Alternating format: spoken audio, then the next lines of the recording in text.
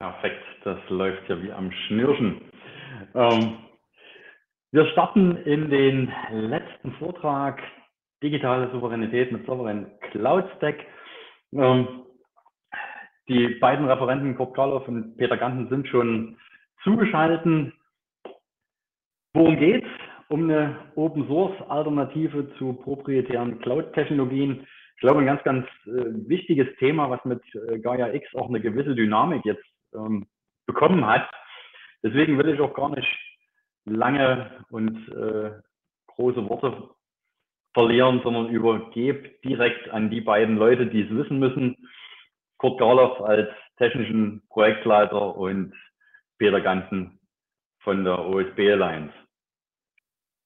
Ja, danke schön, Rico. Super. Ähm, ja, wir haben uns das mal so aufgeteilt, äh, der Kurt und ich, dass wir gesagt haben, ich mache mal äh, eine kurze Einführung und sage ein bisschen was darüber, wie äh, das Projekt Sovereign Cloud Stack eigentlich entstanden ist und ähm, wo wir so organisatorisch da stehen. Ähm, und äh, dann äh, würde Kurt vor allem inhaltlich, technisch äh, sagen und zeigen, was es eigentlich ist und wozu es eigentlich da ist und auch vielleicht, wo wir auf technischer Ebene äh, da stehen. Mein Teil ist deutlich kürzer als der von Kurt. Das hängt auch damit zusammen, dass ich das Projekt zwar wirklich von Anfang an mit begleitet und mit vorangetrieben habe, weil ich es für sehr, sehr wichtig halte, aber technisch ähm, viel weniger drin bin und letztlich auch äh, so über meinen Arbeitstag hinweg viel weniger Zeit damit verbringe, als das bei Kurt der Fall ist, der, glaube ich, seitdem wir das gestartet haben, nicht mehr viel anderes macht, als sich um Sovereign Cloud Stack zu kümmern. Ja, genau. Und das ist auch gut so. Das ist auch, das ist auch, das ist auch notwendig. Ja, also los ging ähm, alles, also vor noch gar nicht so langer Zeit. Ähm, äh, da gab es so ein paar parallele Entwicklungen, die sich durchaus auch an der Berufung von äh, Raphael äh, Laguna zum Direktor, zum Gründungsdirektor der Agentur für Sprunginnovation ähm, äh, äh, aufgehangen haben. Äh, einmal hat der Oliver Maus, der CEO von Plus Server, der auch schon lange mit Raphael zusammenarbeitet, ähm, ihn angesprochen und gesagt, wir müssen eigentlich mal auch was im Bereich Cloud-Technologie tun. Gleichzeitig weiß ich, dass Kurt, als er das mitbekommen hat, äh, Raphael angesprochen hat und gesagt hat, dass du baust große Dinge, da möchte ich gerne dabei sein. Ähm, und ich habe äh, tolle Erfahrungen und äh, ich habe Raphael angesprochen und habe gesagt, lass uns doch mal jetzt gucken, wie eigentlich äh, Open Source und die Open Source Wirtschaft und das Thema Sprunginnovation zusammenhängen. Und dann hat es irgendwann im letzten Herbst einen Termin äh, bei der Open Exchange in Köln gegeben, wo, wo auch vielleicht einige der hier Anwesenden dabei waren, wo wir diskutiert haben, wie hängt das eigentlich alles zusammen. Und die Idee war, man müsse eine offene Plattform, die wirklich von jeder Organisation und auch von Privatleuten eingesetzt werden kann, äh, schaffen, mit denen man Cloud-Services ähnlich skalierbar, ähnlich automatisiert, ähnlich ähm, äh, ja einfach fortgeschritten zur Verfügung stellen kann, wie das heute eigentlich nur bei den ganz großen Hyperscalern, also insbesondere bei, bei Google, Amazon und Microsoft der Fall ist. Und das solle sich unterscheiden äh, dadurch von den Hyperscalern, dass es eben föderierbar ist. Das heißt, dass man, äh, dass, dass man unterschiedliche Instanzen einer solchen Cloud-Plattform auch miteinander verbinden kann und dass es eben vollständig, ähm, vollständig offen ist. Und da ähm, haben wir gesagt, so, so, etwas kann dann tatsächlich und wird dann tatsächlich auch eine Sprunginnovation sein oder hat das Potenzial dazu, eine Sprunginnovation zu werden, weil es letztlich eine ubiquitär, also überall verfügbare offene Plattform darstellen kann, so wie das Internet das auch ist, die es jeder Organisation ermöglicht, Inhalte, Dienste, Leistungen anzubieten oder darauf zuzugreifen, und zwar ohne dass es irgendjemanden gibt, der der Gatekeeper ist und der sagt, du darfst hier mitspielen und du darfst hier nicht mitspielen. Und das schafft, das haben wir beim Internet auch schon gesehen, wirklich Raum und Grundlage für Innovation in allen möglichen Industrien und in allen möglichen Branchen.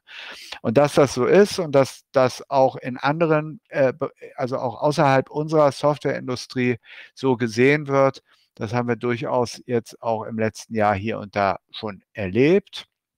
Raphael war dann derjenige, der uns dann alle zusammengebracht hat. Und äh, dann haben wir überlegt und haben das als Sovereign Cloud Stack Projekt äh, gegründet und hatten eben wirklich das Glück, auch mit Cord jemanden zu haben, der, ich würde mal sagen, wie kein anderer, zumindest in Deutschland, Erfahrung im Aufbau dieser Cloud-Technologien hat und äh, seine Bereitschaft, äh, angedeutet und signalisiert hat, hier die technische Leitung zu übernehmen. Äh, dann sind ein paar andere Leute noch dazu gekommen, der Christian Behrendt von Better Cloud, den äh, Kurt, glaube ich, mit reingebracht hat und ich habe den Dirk Lossack äh, mit reingebracht, der also eher äh, auf der administrativen Seite, ähm, die eben auch nicht zu unterschätzen ist, wenn man ein solches Projekt äh, aufsetzen will, äh, eine ganze Menge Unterstützung und also wirklich unverzichtbare Dienste für uns da geleistet hat und leistet.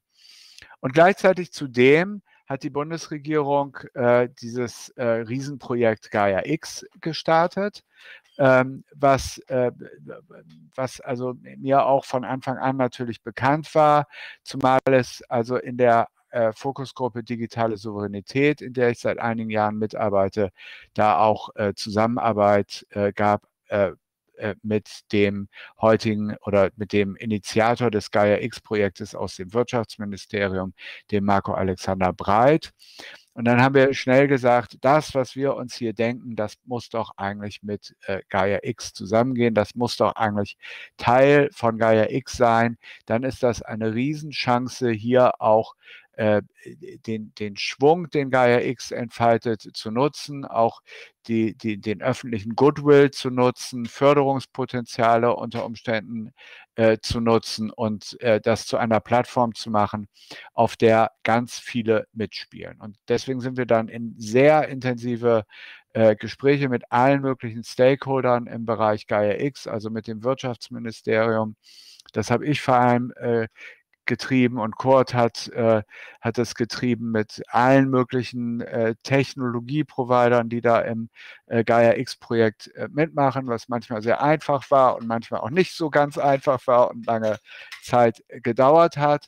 Letztlich ist es dann Ende des letzten Jahres, glaube ich, schon Teil des, auch offizieller Teil des Gaia X-Projektes äh, geworden. Und ich glaube, wir liefern auch in dem Gaia X-Projekt einen ganz entscheidenden Mehrwert.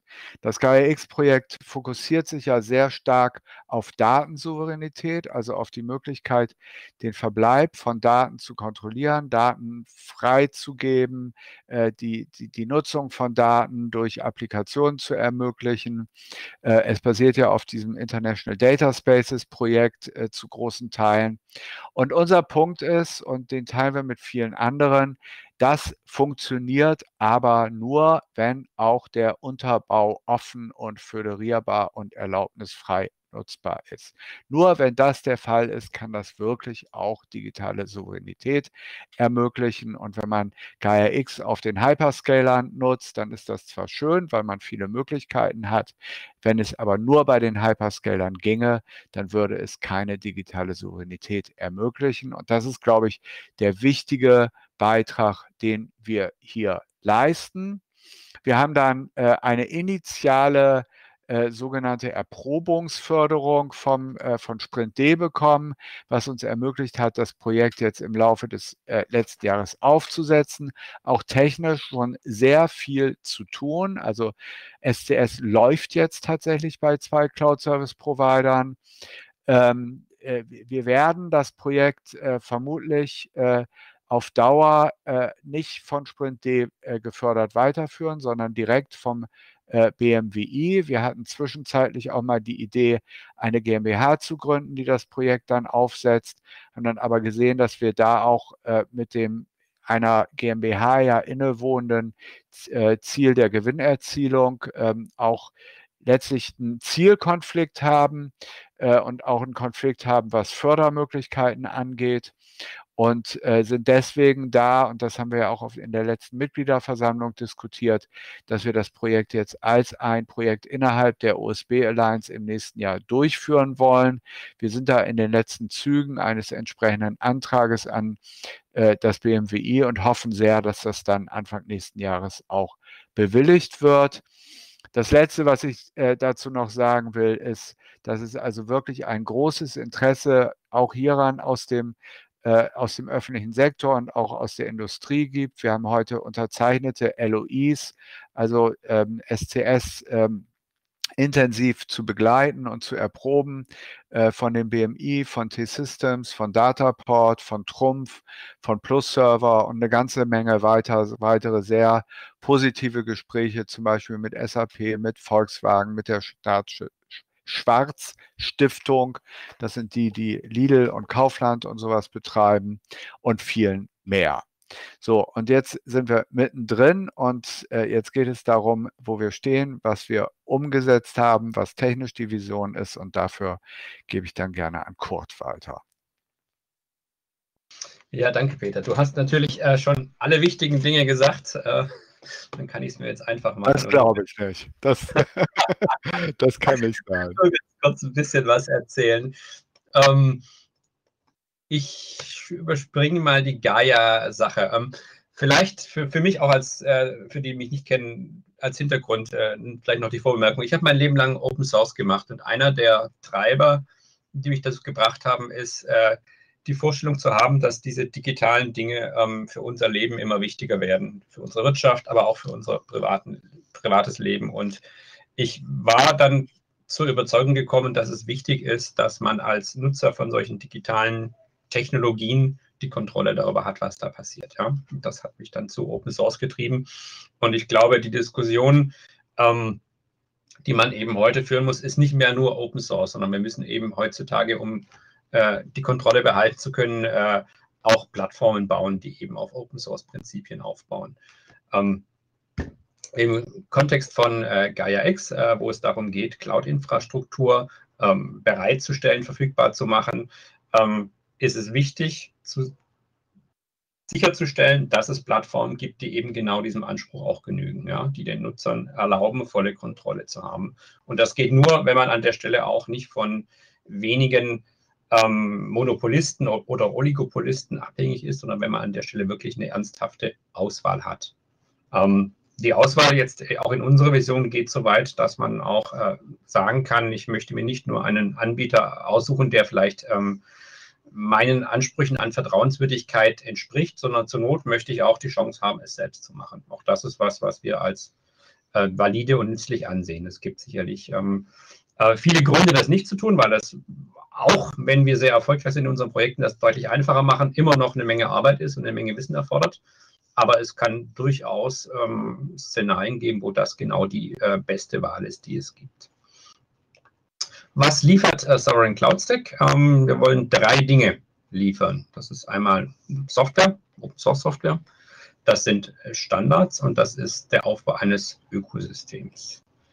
Ähm, zum Thema Software. Ähm, wir liefern einen, oder wir möchten liefern, wir bauen auf, einen kompletten Stack, der äh, einem ermöglicht, Infrastructure as Service bereitzustellen, ja, also über Standardschnittstellen sich äh, virtuelle Maschinen, Netze, Speicher äh, zu provisionieren und äh, diesen ganzen Vorgänge eben durch Software kontrolliert zu automatisieren. Das ist ja das, was letztlich in den letzten zehn Jahren ähm, die fehlenden Teile waren, die es einem erlauben, in der Softwareentwicklung sehr viel äh, schneller zu werden, sehr viel höhere Produktivität zu haben, weil man genau diese Dinge, die früher von Hand gemacht wurden, jetzt äh, vollständig automatisieren kann.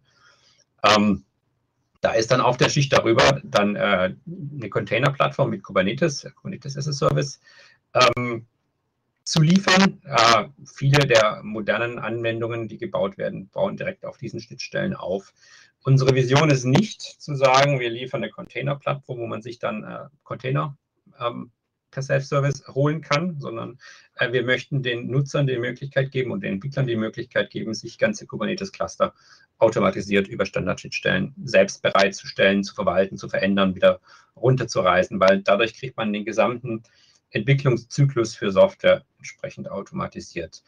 Ähm, der nächste Schritt sind dann Plattformdienste, ja, also im einfachsten Schritt äh, sowas wie eine Datenbank, aber dann natürlich auch äh, fortgeschrittenere Dinge wie äh, ähm, Rahmenwerke für künstliche Intelligenz ähm, und dergleichen. Ähm, das ist der Teil, den wir Stand heute noch nicht komplett ähm, überschauen und durchgeplant haben. Also wir schauen uns natürlich an, was in dem Bereich gibt. Wir werden das auch auf dem Kubernetes aufbauend als Kubernetes-Operatoren umsetzen. Wir haben da auch schon einige Projekte im Blick.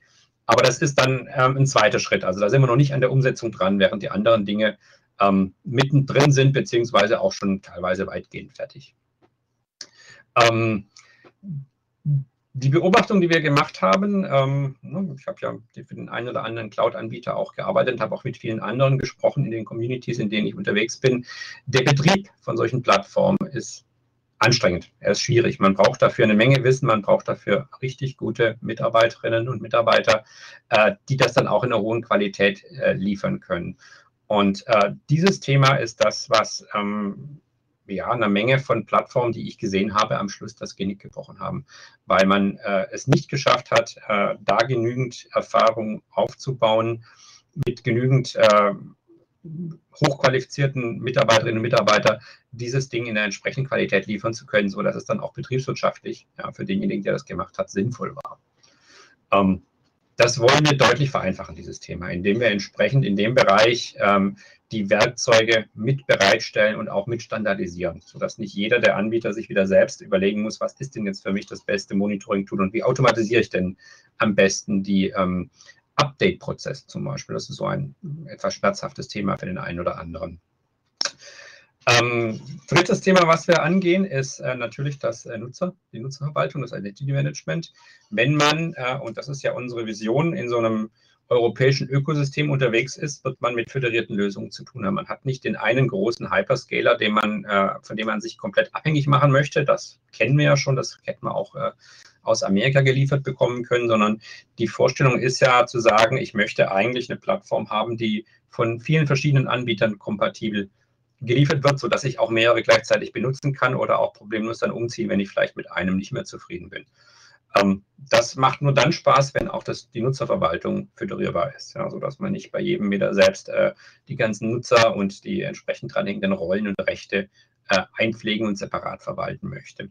Das ist etwas, was in dem Gaia-Projekt ähm, auch mitgedacht und mitentwickelt wird. Das heißt, da sind wir so im, im regen Austausch ähm, und äh, hoffen, dass wir das nicht alles äh, selbst bauen müssen. Grundsätzlich ist das aber auch keine Raketenwissenschaft. Und wir haben ja auch Firmen wie eine Uni Menschen dabei, die da durchaus auch ein bisschen Wissen mit einbringen können. Ähm, das Ganze ist modular. Wir sind ähm, durchaus uns bewusst, dass wir mit vielen Partnern arbeiten, die schon existierende Plattformen haben, die Teile von dem, was wir in SCS als kompletten Stack liefern, auch schon haben und vielleicht auch weiter nutzen möchten. Das heißt, die Vorstellung, die wir haben, ist zu sagen, wir haben verschiedene Teile, Module, die man auch äh, separat nutzen kann und auf existierende ähm, Plattformen draufsetzen kann. Ja, da müssen natürlich die Plattformen bestimmte Anforderungen erfüllen. Sie sollten offen sein. Äh, sie müssen die entsprechenden Schnittstellen auch äh, bedienen. Aber wenn Sie das tun, äh, kann man auch sagen, ich nutze nur einen Teil von äh, den SCS-Komponenten, die es gibt äh, und kann trotzdem am Schluss einen voll kompatiblen, auch zertifizierbaren SCS-Stack liefern. Und dann haben wir den Anspruch, dass das alles offen gemacht wird. Das ist Open Source ist sowieso klar. Aber ich sage mal, Open Source ist nicht genug. Ja? Wir müssen also auch den Entwicklungsprozess offen gestalten. Die Community, die daran mitarbeitet, muss offen sein, sodass die Leute, die sich da einbringen wollen, auch eingeladen sind, sich einzubringen und das auch tun können. Ähm, das ist nicht bei allen Projekten, die äh, behaupten, offen zu sein, tatsächlich der Fall. Ne? Open Source ist ja in der Industrie auch so ein bisschen zum Modewort geworden und nicht jeder, der das sagt, äh, macht das wirklich. Ähm, wir haben ein, eine offene Community, einen offenen Entwicklungsprozess und auch die Designentscheidungen ja, werden in einer offenen Diskussion äh, entsprechend äh, getroffen, wo alle eingeladen sind, teilzunehmen, die auch dann entsprechend diskutiert werden. Ähm, Standardisierung ist für uns sehr wichtig. Ähm, wenn man sich anschaut, warum die offenen Cloud-Plattformen nicht so erfolgreich waren gegen Amazon und Microsoft und Google, dann ist einer der Gründe, und ich habe in meinem Leben sehr viele na, auf Open Source aufgebaute Clouds gesehen, dass keine zu einer anderen kompatibel ist, wirklich kompatibel. Ja. Und das tut natürlich äh, am Schluss, wenn man ein Ökosystem bauen möchte, wo Netzwerkeffekte wichtig sind, tut das sich sehr weh. Ne? Weil wenn ein Entwickler, der entsprechende Anwendung bereitstellen soll für so eine Plattform, sagt, naja, ich kann jetzt hier eine ähm, Anwendung programmieren, die dann auf der OVH, auf der OVH Cloud funktioniert und ähm, muss die dann dort testen für eine, naja, überschaubare potenzielle Kundengruppe. Und wenn ich dann aber auf eine andere ähm, Plattform gehen möchte, die auch so eine offene Cloud darstellt, die vielleicht mit der gleichen Technologie auch mit OpenStack gebaut ist, muss ich dennoch diese Anwendung anpassen und muss sie nochmal komplett durchtesten, durchqualifizieren. Das wird dann irgendwann zu teuer, sodass man diese Plattform dann gar nicht mehr als Plattform wahrnimmt und äh, ignoriert. Und diese Zersplitterung, diese Fragmentierung hat letztlich ähm, den Erfolg von offenen Clouds äh, extrem eingeschränkt. Ja? Und da wollen wir rangehen an dieses Thema. Da werden wir uns auch unbeliebt machen, weil wir natürlich an der Stelle ähm, Vorschriften machen. Ja, wir werden die erarbeiten, gemeinsam natürlich mit den, mit den Partnern, die daran sich beteiligen. Aber am Schluss werden wir eine Einigung erzwingen und auch sagen, das ist ein Standard, auf den man sich verlassen kann, auch wenn der vielleicht nicht jedem gefällt. Wir opfern da ein bisschen Flexibilität, die einem Open Source natürlich bietet, um einen größeren, ein größeres Ökosystem bauen zu können. Und ähm, wir setzen auf existierenden Standards auf, aber wir wissen auch, dass die existierenden Standards teilweise sehr unzureichend sind. Ja? Also in der OpenStack-Welt, ich habe selbst in der, der Interop Working Group mitgearbeitet, viele Jahre, äh, gibt es diese DevCode-Zertifizierung. Die ist ähm, in Ordnung. Ja, sie macht technische Tests äh, auf Kompatibilität, aber sie deckt einen sehr, sehr kleinen Bereich nur ab ähm, und lässt sehr viele Fragen offen. Das heißt, die ist ein, ein guter erster Schritt, aber die macht vielleicht 10 Prozent des Weges, den man in den Bereich gehen muss. Und insofern werden wir da sehr viel mehr machen. Oder wenn man in die Containerwelt schaut, ähm, was sind denn die Schnittstellen, um sich so ein Kubernetes-Cluster zu provisionieren? Ja, da gibt es diese Kubernetes Cluster API, die ist aber nicht etabliert. Ja? Wenn man sich die verschiedenen Lösungen anschaut, die es im Markt gibt, wird die nur von ganz wenigen benutzt. Da fehlt es also auch an entsprechenden Standards. Die müssen entwickelt werden mit den entsprechenden Projekten und Partnern. Ähm, diese Standards sind auch zertifizierbar und die werden sich auch in den Selbstbeschreibungen, die es in diesem Gaia-X-Universum gibt, wiederfinden. Ökosystemaufbau ähm, ich hatte vorher erwähnt, dass es schwierig ist, so eine Plattform gut zu betreiben. Ja. Ähm, und das liegt so ein bisschen daran, dass äh, die Software, die entwickelt wird, in einem schönen, offenen Open Source, äh, Open Design, Open Community Prozess entwickelt wurde und auch durchaus äh, gut funktioniert. Ähm, die Prozesse, wie betreibt man das? Was braucht man für Werkzeuge, um das zu automatisieren, um das zu überwachen, ähm, sind nicht in einem gleichen offenen Prozess entsprechend standardisiert verfügbar. Das heißt, jeder Anbieter, äh, der so eine Plattform betreiben möchte, muss das wieder selbst für sich erarbeiten und man findet dann so bruchstückhaft natürlich Informationen dazu, wie andere es gemacht haben, aber eben keine komplette Anleitung, die es einmal erlauben würde, das zu tun. In dem Bereich wollen wir die Anbieter vernetzen und wollen auch dafür sorgen, dass das Wissen standardisiert einfach verfügbar wird. Und wenn wir dabei sind, äh, zu sagen, wir bauen so ein Ökosystem, dann werden wir natürlich auch darauf hinwirken, dass die Anbieter sagen, diese Föderierung ähm, klappt und funktioniert.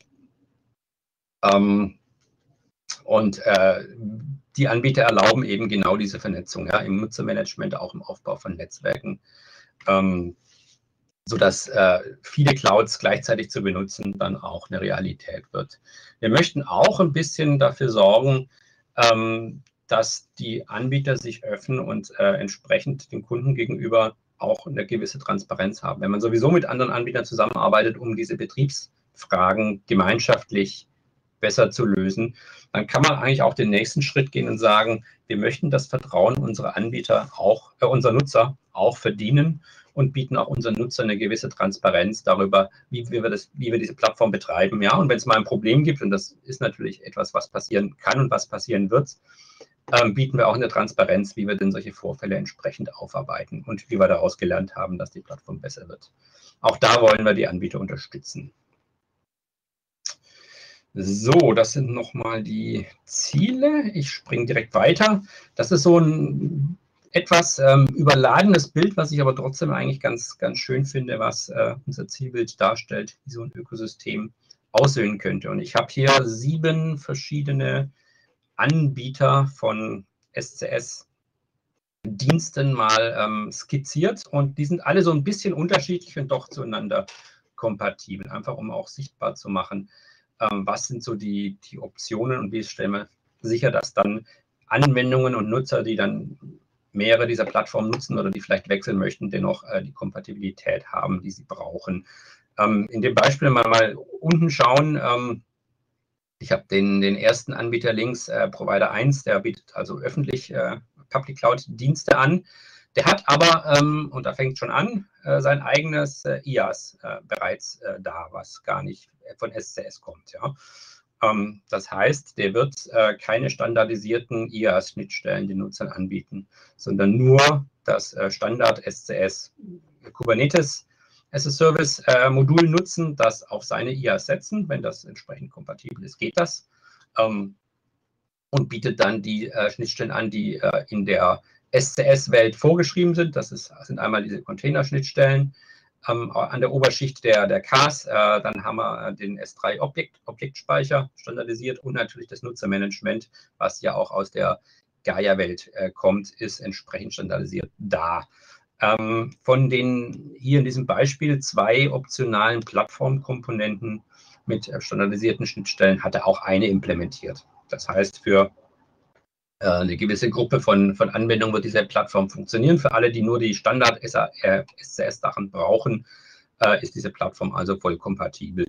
Ähm, und so sind in diesem Bild andere Beispiele drin, ähm, unter anderem zum Beispiel der Anbieter 3, der äh, gar keine Public Cloud wirklich anbietet. Der, ist, der hängt zwar mit seiner Cloud im Internet, aber letztlich hat er als Ziel nur eine beschränkte Nutzergruppe und er lässt auch nur bestimmte Zugriffe zu.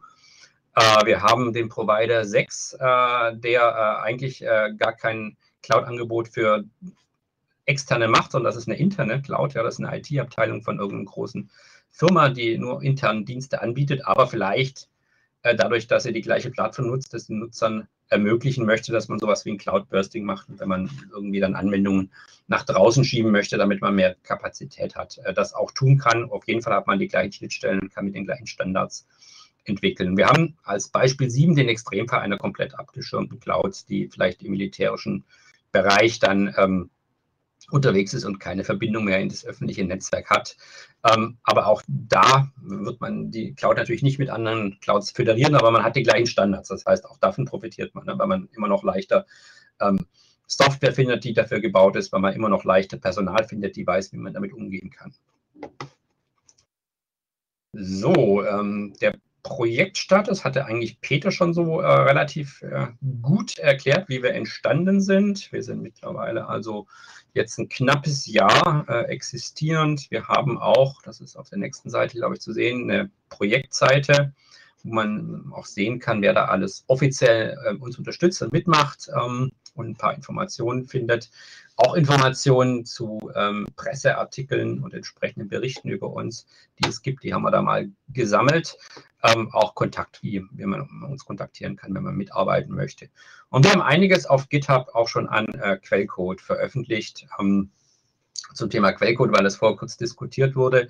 Ähm, unser Ziel ist es natürlich nicht, möglichst viel Code zu entwickeln, sondern äh, das Gegenteil, wir möchten möglichst wenig selbst entwickeln müssen. Ja, wir möchten gute existierende Open-Source-Projekte auswählen, die sinnvoll kombinieren, standardisieren, standardisiert konfigurieren, die Automatisierung für die äh, Installation hinbekommen.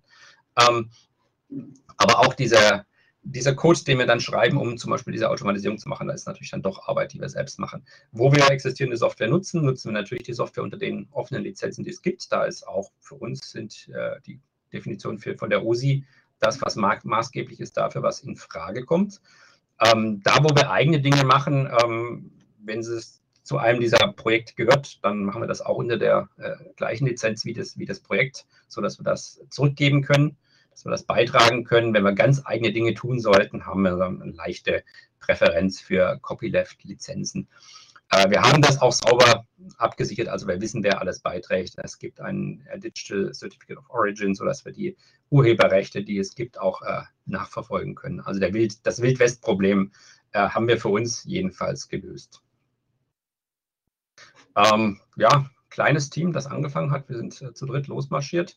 Ähm, mittlerweile eine Anzahl von Firmen, die daran mitarbeiten ähm, und auch ähm, Firmen, die äh, das mit einer gewissen, äh, mit einem gewissen Wohlwollen begleiten und äh, die dann, denke ich, in der Zukunft dann auch zu echten Mitarbeitern werden. werden. Äh, wo stehen wir bei der Implementierung? Wir haben den Infrastruktur- und den IaaS-Teil weitgehend fertig. Das heißt, wir können Stand heute ähm, automatisch ähm, installieren auf Bare Metal. Das Bare Metal ist immer mit der Automatisierung so mit, mit kleinen Haken versehen. Also man muss natürlich die Rex irgendwie von Hand ins äh, Rex schrauben und äh, äh, verkabeln und entsprechend hat man dann äh, ein bisschen Handarbeit, weil sich Hardware nicht ganz so gut automatisieren lässt. Ähm, sobald man aber da die ersten Schritte überwunden hat, äh, tatsächlich setzt der Automatisierungsprozess an und wir können das ausrollen mit so ein bisschen Infrastruktur, Datenbank, äh, Messaging, ähm, Hochverfügbarkeit. Ähm, dann die, die, das ganze Bootstrapping für Betriebssysteme und dann nachher die Automatisierung, wie die Plattform ausgerollt wird. Eine schöne Sache, die wir haben, die nutzen wir selbst sehr, sehr intensiv, ist, dass wir auch virtuell das Ganze äh, ausrollen können. Das nennen wir Testbed. Ähm, das heißt, auf einer existierenden IaaS-Plattform können wir dann nochmal obendrauf ein Sovereign Cloud Stack installieren. Da wir natürlich auch eine Virtualisierungsplattform mitliefern, OpenStack, äh, haben wir dann doppelte Virtualisierung.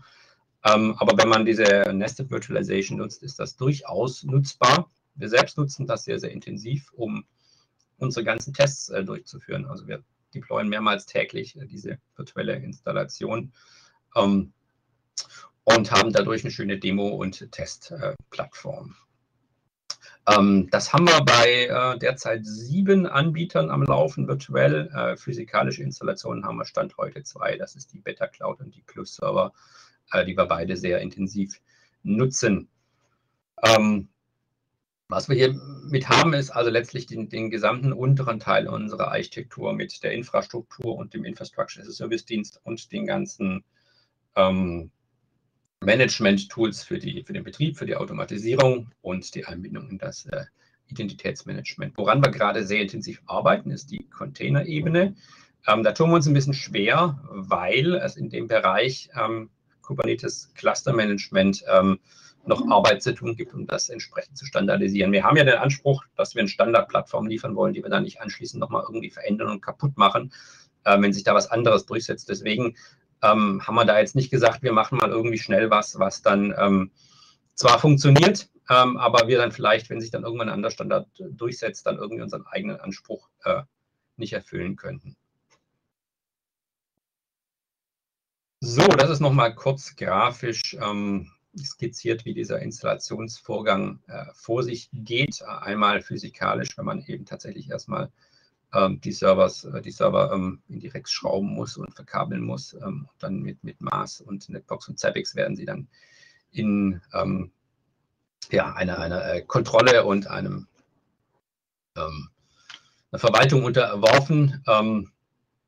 Alternativ äh, die virtuelle Deployment, wo wir diesen ersten Schritt äh, mit Hilfe von Terraform durchführen. Anschließend äh, ist der Prozess der gleiche, dass mit Hilfe von, von Ansible AWX ähm, die ganze automatische äh, Installation durchläuft und mit der gleichen Automatisierung natürlich nicht nur die Installation geht, sondern nachher auch äh, entsprechend die Updates äh, möglich sind.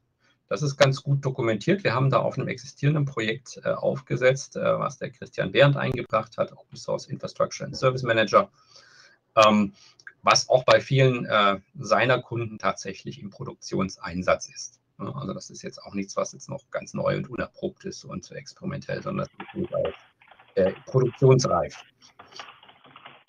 Ähm, so, ich versuche mal so ein bisschen kurz auf die Uhr zu schauen, damit wir noch Zeit für Fragen haben.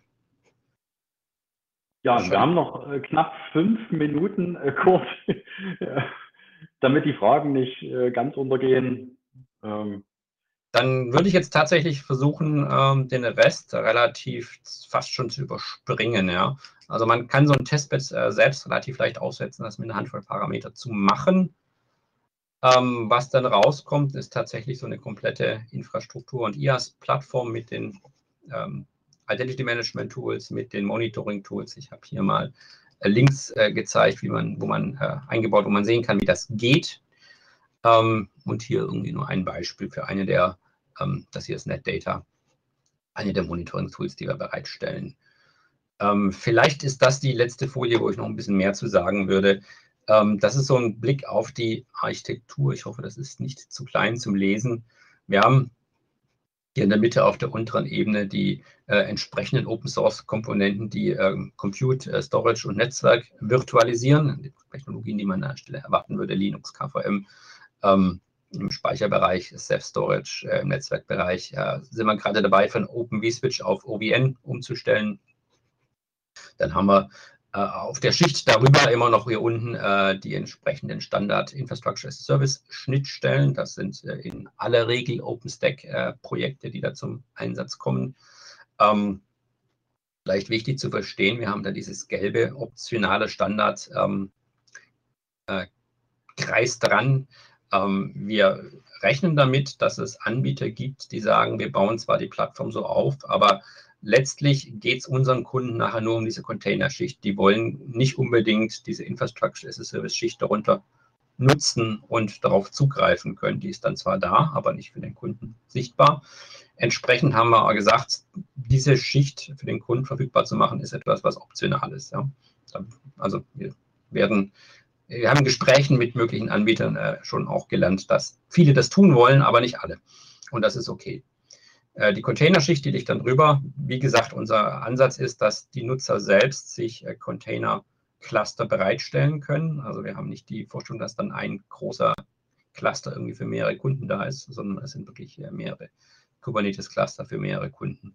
Ja, auch, also auch Kunden können auch mehrere haben, sogar wenn sie mehrere brauchen.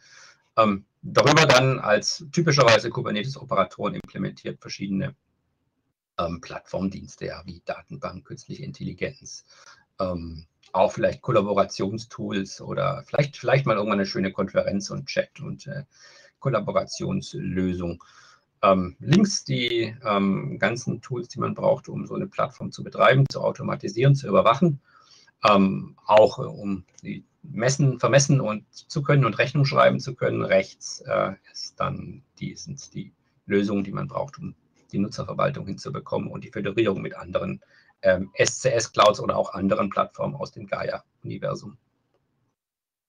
So, wir haben viel vor. Das Projekt, was wir gerade geplant haben, ist für die nächsten vier Jahre geplant. Äh, es wäre jetzt vermessen zu sagen, dass wir schon genau wissen, was wir im zweiten Halbjahr 2023 genau tun. Aber wir haben so einiges uns an Zielen aufgeschrieben und das auch in eine logische und äh, priorisierte Reihenfolge gebracht, die ähm, uns sicherlich für die nächsten drei bis vier Jahre ganz gut beschäftigt hält. Ähm, ich glaube, ich würde jetzt dann hier die Chance geben, dass man Fragen stellt. Ja, vielen Dank, äh, Kurt und Peter. Ähm, Kurt an dich eine kleine Bitte. Dein Mikrofon ist sehr sensibel eingestellt, das kratzt manchmal.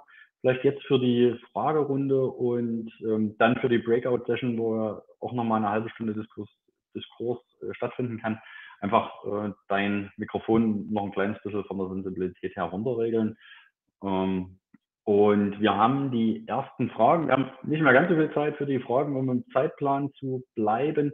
Äh, eine Frage ist, ähm, was ist eine, eine Referenz Implementation äh, Details? Frage kommt von Elmar Gese. Und ähm, zweite Frage von Robin Rosenstock. Können dass ähm, SCS auch individuelle Personen, also Einzelpersonen verwenden und was sind da die Vorteile? Ja, ich fange mal an, kurz äh, das mit dem Referenzimplementierungsdetail zu sagen. Und ich springe vielleicht auch direkt mal auf die Frage, äh, auf die Folie zurück, auf die sich das bezieht. Das ist diese hier. Ne? Ähm, also wir haben hier den Anspruch, eine komplette, ähm, einen kompletten Software-Stack zu liefern. Ähm, und wir haben aber auch gesagt, der ist modular. Ne? Wir geben Nutzern oder Leuten, die äh, so einen Stack aufbauen wollen, die das anbieten möchten, die Möglichkeit, dann an einzelnen Stellen auch andere Entscheidungen zu treffen als die Technologiekomponenten, die wir jetzt in unserem Stack mit automatisiert und mit konfiguriert ausliefern. Ähm, das ist genau äh, der Bereich, den wir als Referenzimplementierungsdetail bezeichnet haben. Und da haben wir die ähm, aus unserer Sicht besten Lösungen gewählt, die man aufbaut.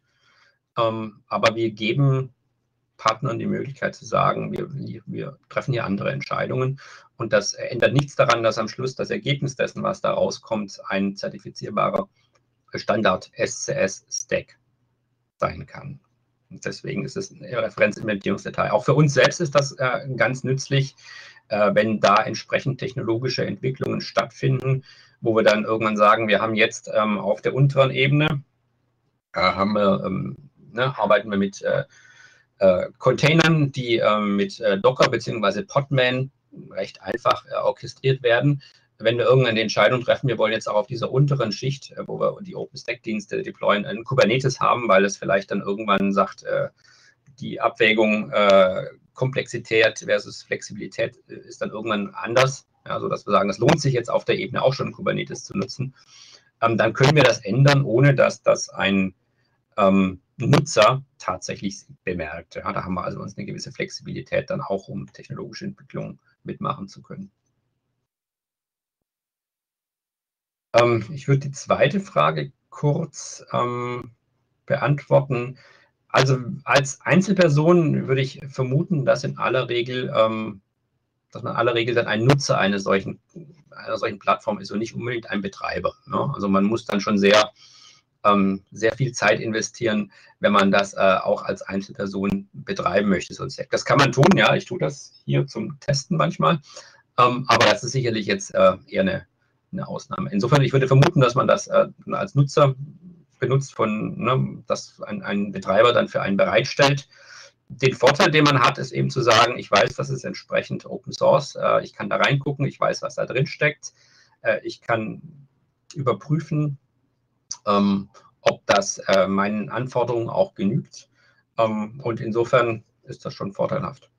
Peter, wenn Was wäre denn, Kurt, äh, die minimale Hardware-Anforderung, wenn man es doch selber, so wie du, unterm Schreibtisch betreiben möchte? Ähm, der Arbeitsspeicher dürfte für dich das Begrenzende sein. Da solltest du 128 Gigabyte in deine Maschine reinbauen. Dann geht es gut. Du kriegst es auch auf 64 ans Laufen, aber es macht nicht so viel Spaß. Mhm. Aber eine okay. Büchse reicht. Du kannst es auf einer Büchse installieren, ja. Ja. Gut, es sind ja nur minimale Anforderungen. Ähm, ich glaube, da gibt es einige Gaming-PCs, äh, die das auch schon erfüllen.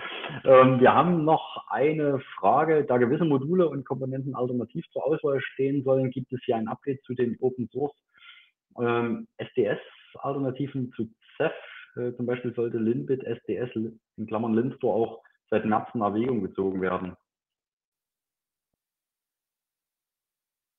Ähm, ich, ich will jetzt gar nicht inhaltlich bewerten, ob das irgendwie an der Stelle eine, eine gute Alternative ist oder für welche speziellen Szenarien das ist. Also meine Erwartung wäre, dass sich in dem Ökosystem von Anbietern was entsteht, ja, die ähm, SCS benutzen, es Anbieter gibt, die vielleicht genau zu so einem Ergebnis kommen in ihrer Bewertung. Die sagen, ich habe hier vielleicht eine Datenbank, was eine Anforderung für besonders niedrige Schreiblatenzen hat. Das war zumindest klassisch mal einer der Bereiche, äh, wo Linbit ähm, ne, bessere Performance liefern konnte, als Ceph das kann. Ähm, und äh, ja, wir würden das erwägen und wenn wir irgendwann sehen würden, das ist etwas, was viele brauchen, dann würden wir sagen, vielleicht können wir das auch in SCS äh, integrieren und mitliefern als Option. Ja? Also Stand heute würden wir jetzt erstmal gucken, dass wir uns einen kompletten Stack mit einer Technologie aufbauen können, die an der Stelle auch aus unserer Sicht sehr, sehr gut und ist und auch der Mainstream ist. Und ähm, ich glaube, da kommen dann später Optionen dazu, so wenn das äh, Ökosystem wächst und auch die Leute, die dann beitragen, ja. Okay, dann vielen Dank an euch beide. Wir liegen wieder äh, perfekt in der Zeit.